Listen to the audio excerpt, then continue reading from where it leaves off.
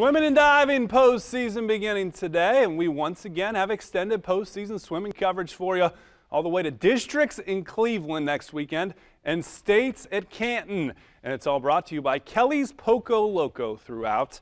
Action beginning tonight in Ayersville. Diving sectionals, the Celina boys and girls both winning the Western Buckeye League.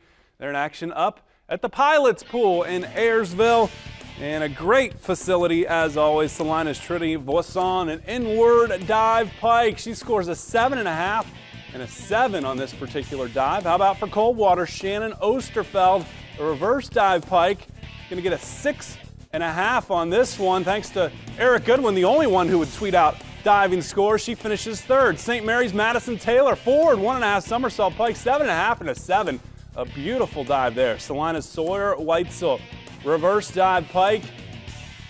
She'll go straight into the water. Six and a half for her. Her fellow water dog diver, Olivia Slaughter, WBL champion, showing why. Back one and a half somersault tuck is a good one. Five and a halfs on this one. How about Shawnee's Amanda Lucas? A back somersault pike. Scores a seven and a six. On to the boys we go. OG's Harris, Ryan Stetler, back one somersault straight. He's going to go six and a half and six on this particular dive in round number six. Celina's Jake Browder. Same dive. Pretty good results for him as well. Five and a half. Finally, our WBL champion from the Green Dogs, Chandler Kimmett. Back dive pike.